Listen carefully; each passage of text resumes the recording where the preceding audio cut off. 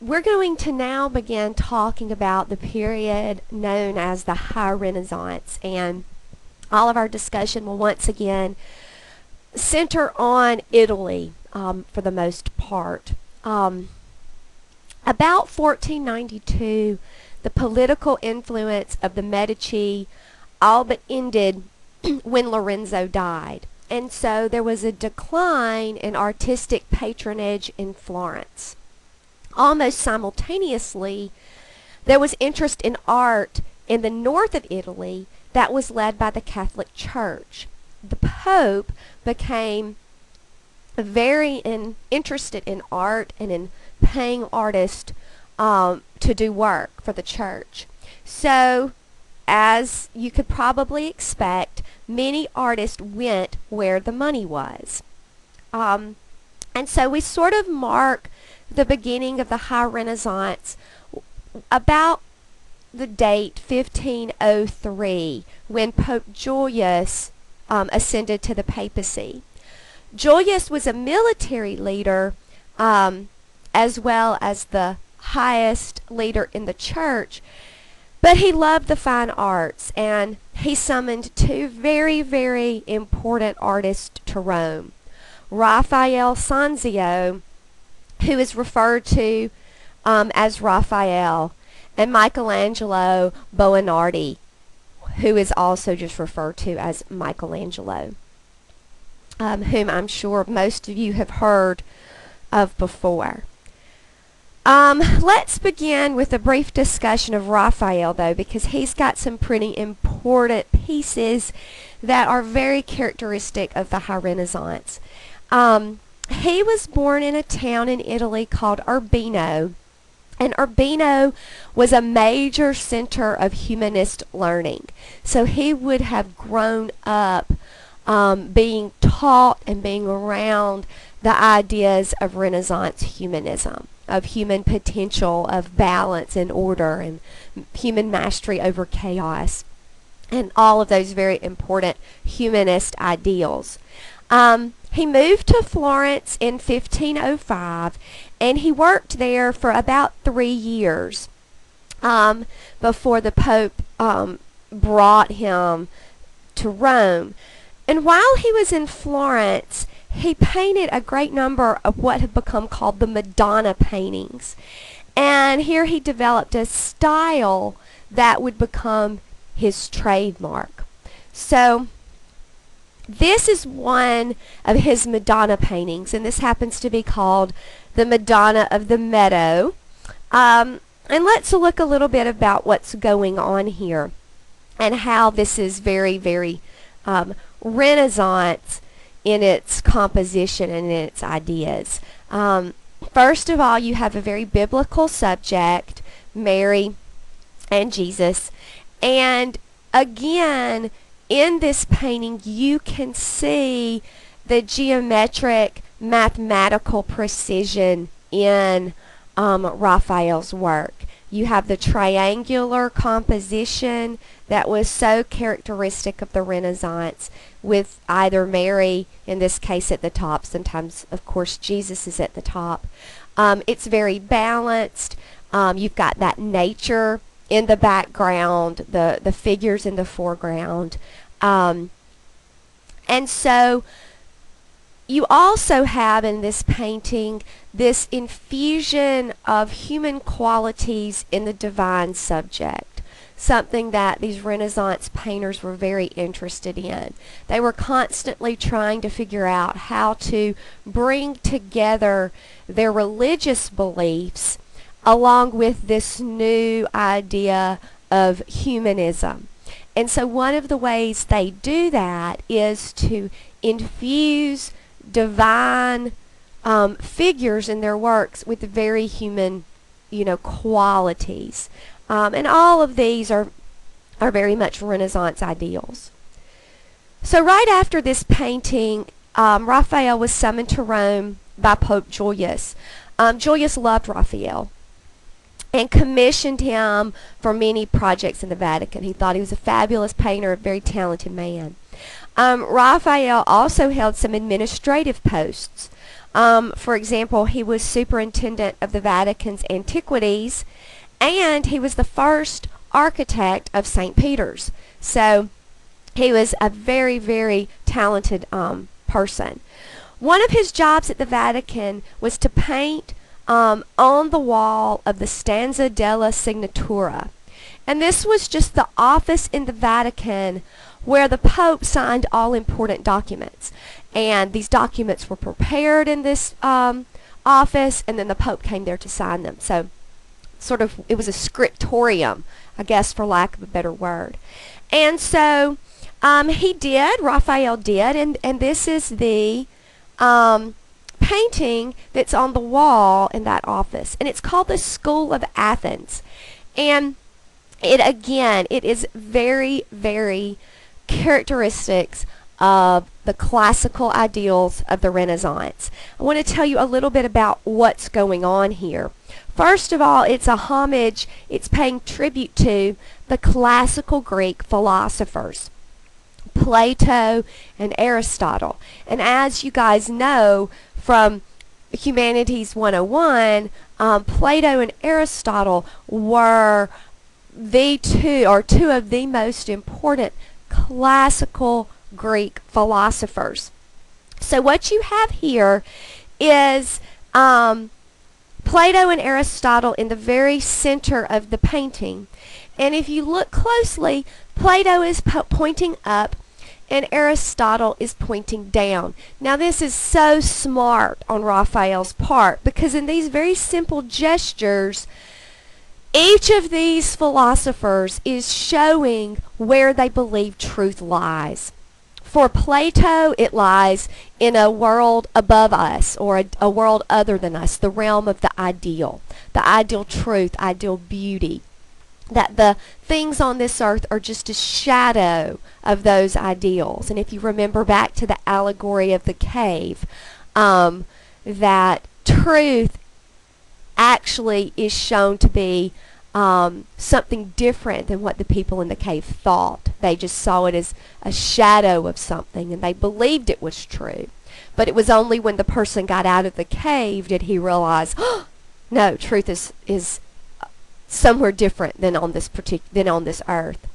And Aristotle pointing down shows the conflict in the philosophies of these two men. Aristotle believed truth could be found in the things around us, that it was through observation of many different types of things that we came to know what was true. So he's very, Raphael is very savvy in, in doing that and communicating that with just those gestures. Um, and so we also see other Renaissance elements at work here. Not only is it this reflecting back to the classical past, but we see some other things. The architectural framework, very classically Roman, very Renaissance. Um, the subject matter, think about this. You've got Greek philosophy in the Vatican. Again, religion and humanism colliding. An artist trying to um, work out that contradiction or that seeming contradiction in a seamless way. Um, interestingly, even the Pope believed in the idea of philosophy and encouraged philosophy because he believed philosophy and the ability to think like that was a gift from God. Um, and so you have other important classical figures. You have Pythagoras calculating on a tablet. Um, and then you actually have um, Michelangelo in the painting. This is believed to be him here. Raphael is in the painting. Um, and so he, he mixes the classical with the Renaissance in this painting. Um, you can also see the balance and ordered space um, divided in half. And um, again, just a, a very classical tribute to humanism in a very religious space and them trying to sort out that balance. Um, this is Raphael's last work, and it's a little bit different in my mind to what we've seen before. It was left unfinished. Now, there's a lot more movement and a lot more emotion in this painting than in the others. Um, it's it's pushing those limits of the calm, ordered, balanced space of the Renaissance. But you can see here it's still mathematically precise. Um, you've got the triangle position here with Jesus at the top ascending to heaven.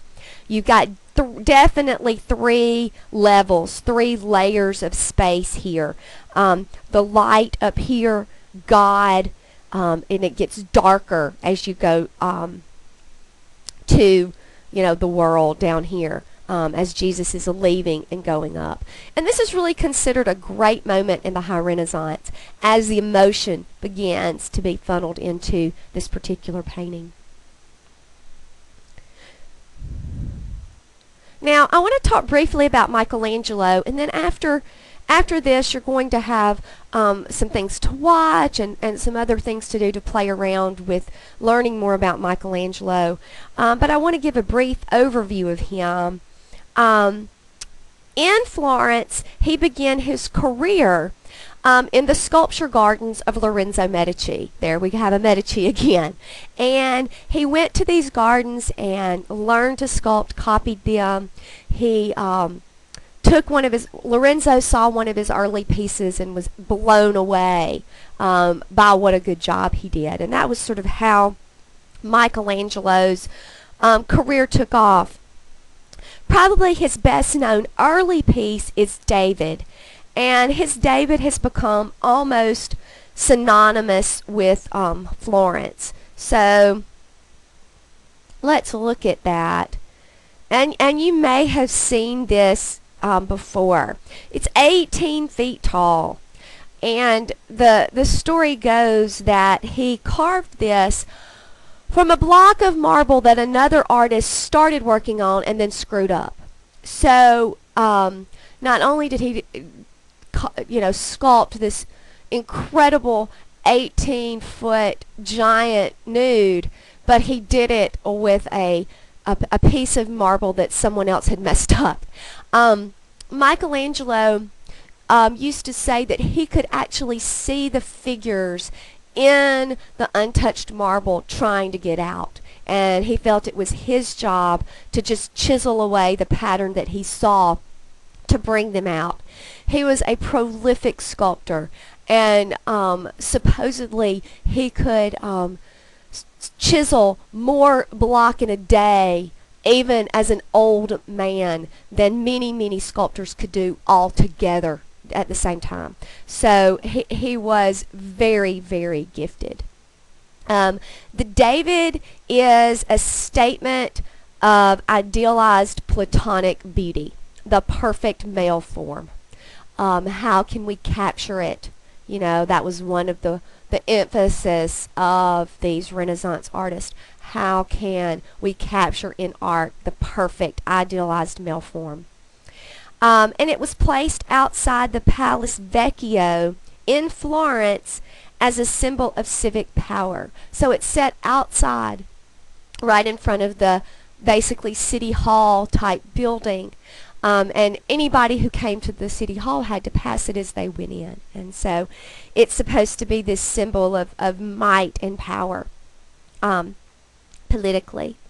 Um, then in 1505, the Pope summoned Michelangelo to Rome to, to construct a tomb for him. Um, the tomb was never finished um, because Michelangelo kept getting interrupted. And then Julius died, and the new pope didn't care much about Julius's tomb. Um, but but part of it was was finished, the Moses part, and um, you can find that picture in in your book.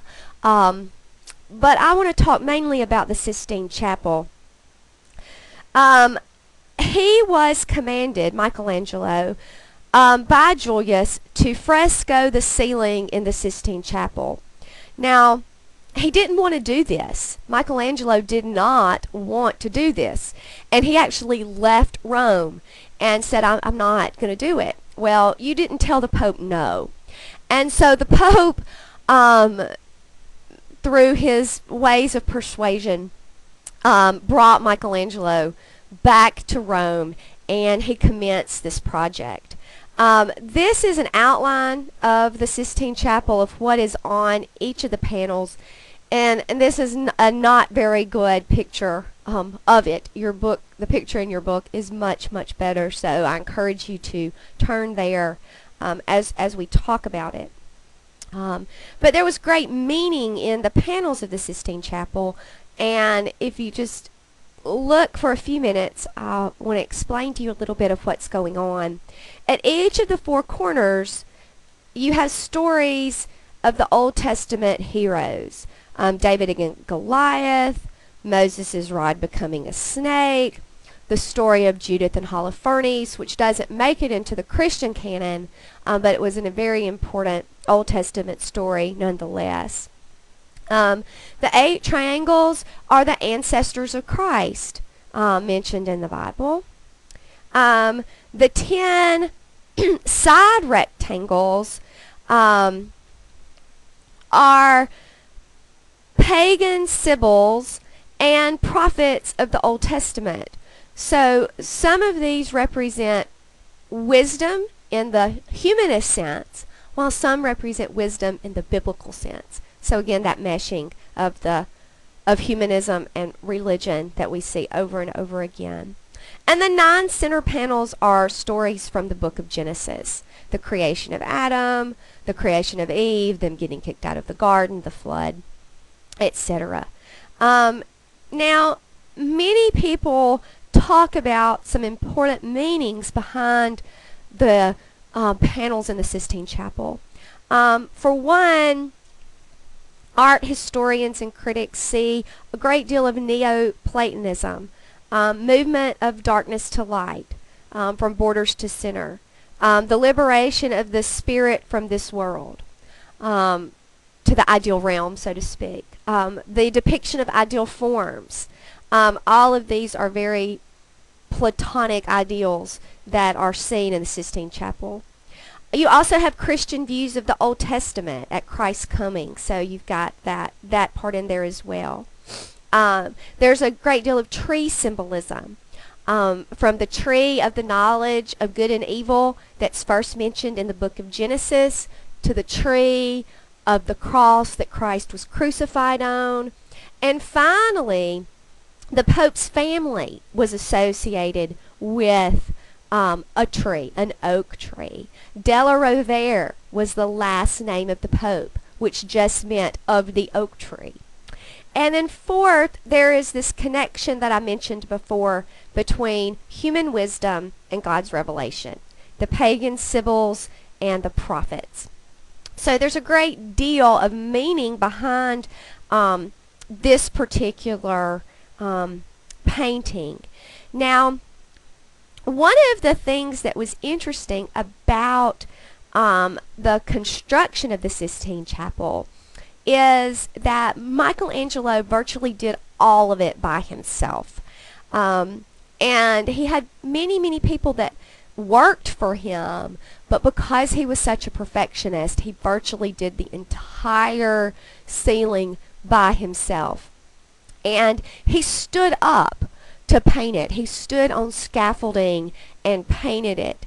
And he writes that he developed great neck problems, obviously, from looking up all the time um, during the construction. He got very frustrated with the Pope. The Pope began to hound him about when he was going to be finished. Finally, Michelangelo um, just resorted and ans- began answering the Pope when I can.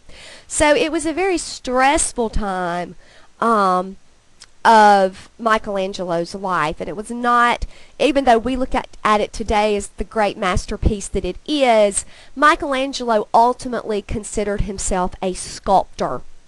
And so he, he did not enjoy this um, process at all. Um, Michelangelo was one of the artists in the Renaissance that made a fortune being an artist. He was a very wealthy man during his lifetime and a very interesting man. And I hope that as you continue in the next couple of links to learn more about Michelangelo, that um, you will really see the complexity of um, of his character um, as well as just what an artistic genius that he was.